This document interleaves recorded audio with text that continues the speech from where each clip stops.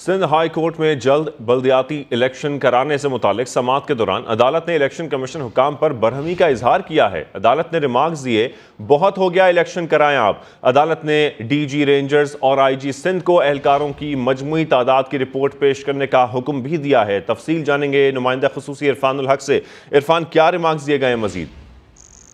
देखिए, election commission ने आज बताया, अदालत को उनके वकील ने कि 9 नवंबर को एक तरीकैन का इजलास बुलाया गया था। स्टेक होल्डर्स की मीटिंग में ये तय होना था कि कराची और हैदराबाद की जो बल्दियाती इलेक्शन अल्तवा का शिकार हैं, उसकी अगली तारीख क्या होगी? आज अदालत को बताया गया कि कल इजलास छुट्टी की वजह से नहीं हो सका। जिस पर अदालत ने बरहमी का इजहार किया और कहा कि कोई स्कूल नहीं है जो आप छुट्टी का बहाना कर रहे हैं। कल इलेक्शन कमीशन का इजलास हो सकता था।